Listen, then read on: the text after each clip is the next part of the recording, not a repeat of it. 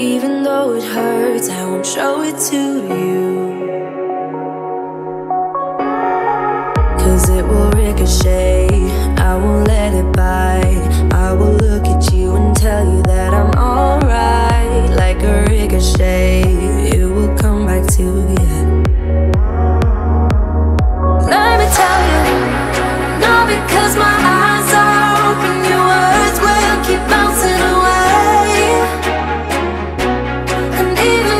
trying